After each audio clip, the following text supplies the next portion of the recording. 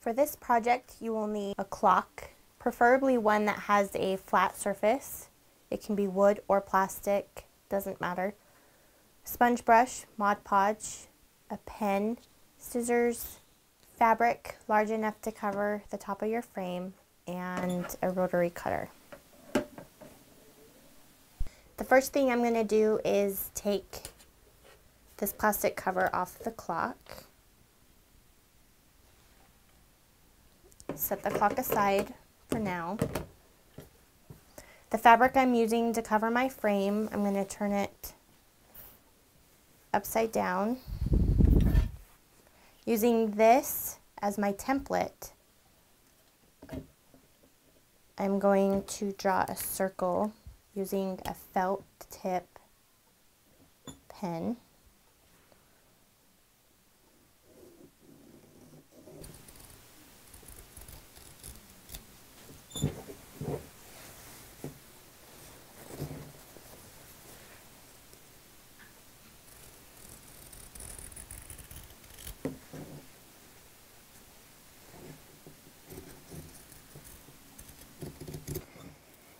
Now that I have the center cut out, I'm going to attach it to my clock using Mod Podge and again a sponge brush.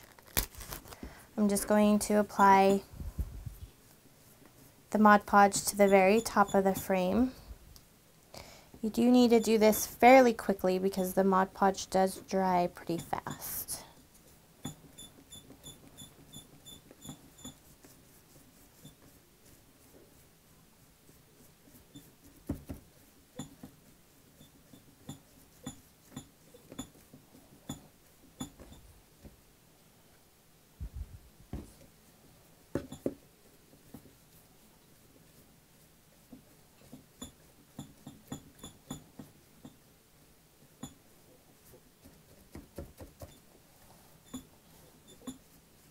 Now that I've got the Mod Podge on there, I'm going to place my fabric.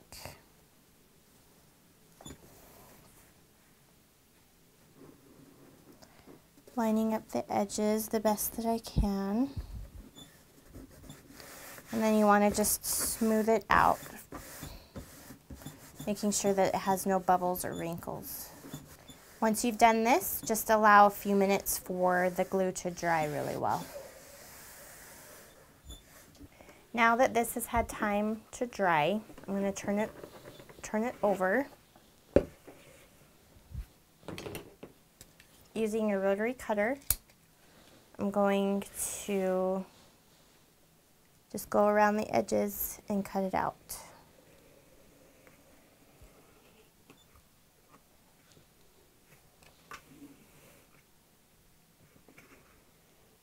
If you have some edges that ended up being a little bit rough, it's okay. You can just go around the edges and just trim them with your scissors.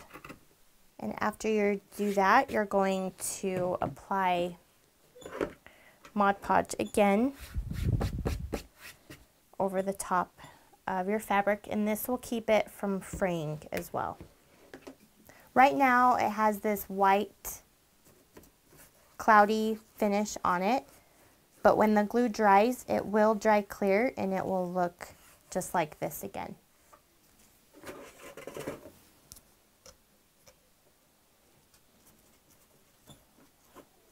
So now I've applied all of the glue and I'm going to just allow time for this to dry.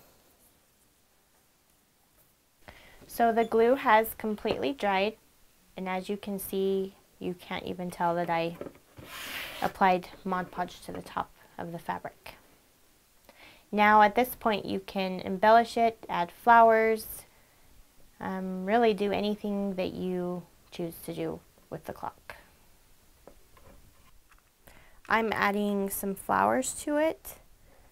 These flowers I've done in another tutorial